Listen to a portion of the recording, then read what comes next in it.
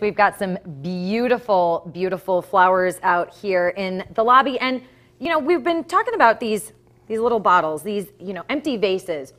What do you do with them? You know, you, you, you get a bouquet, you get an arrangement, and you're not sure what to do with the vase afterwards. Master designer, Walter Knoll Florist, Scott Hepper is here to show us how you can really reuse these creatively and really Sure. brighten up your room. Well, this is mo- mainly geared towards summer. Um, this is called a glass act. I'm going to show you some really neat tips to save any kind of glass vases or anything that you can do when you're having a summer party to keep it stupid simple, under 20 bucks and everything. And the key is always keep your glass clean. Save your vases. Don't throw them away like you're going to do in a garage sale. Save them and categorize them because even like this, the, the mason jar thing, it's been done for four years. Move along, move along. Save the, everything is going into like a little apothecary bottles or any of the glass bottles doing something real simple but doing clusters of stuff.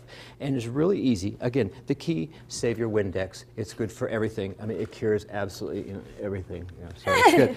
So what I've done is I've some simple glass vases that we all have around the house, um, like bubble bowls. Everyone has gotten something in a bubble bowl before. Let's see the difference between dirty and clean. You make sure they're clean and then we plop fresh garden roses or something in there and just drop them in. That costs what? $3, $3, $5, maybe a garden rose, a David Austin garden rose that we have at the Walter Knoll shop. That's like seven bucks, but it will last five days. Look how beautiful that is. I swirl some grass. That's all you need for a party. I swirl a little bit of grass around it, done.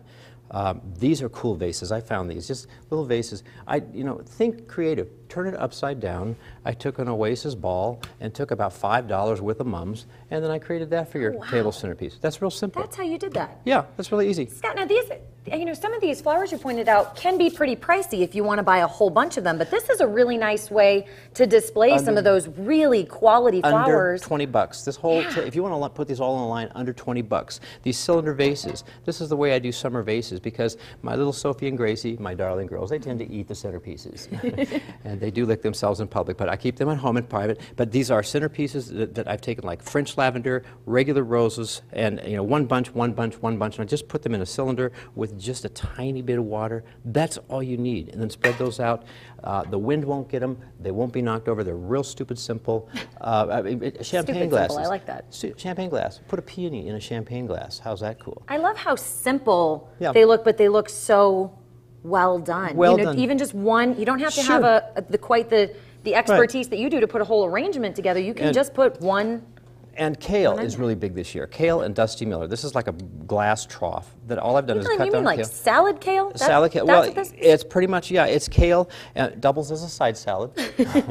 no. get in there Just and chop it, chop it, chop it. fork and knife, cut Uh, away your hydrangeas centerpiece. are good. Uh, and again, look at these old milk bottles that I found. Fresh orange juice bottles that we carry at the Design Center. All this glassware we have at the Walter Knoll Design Center. Stop in because we we now. We purchased Ladue Floral, so with a combination of all the glassware and all the neat employees, we have some great employees that can You help make you it look just so do this easy. glass bottles, milk bottles. Apothecaries, when they're put together with all white flowers, look how stunning that looks. That is such a cool table setting. And I've done the same table setting with the same bottles in pink. So it's very simple. Single flowers, keep the glass going. This is called a glass act. Make sure your glass is clean.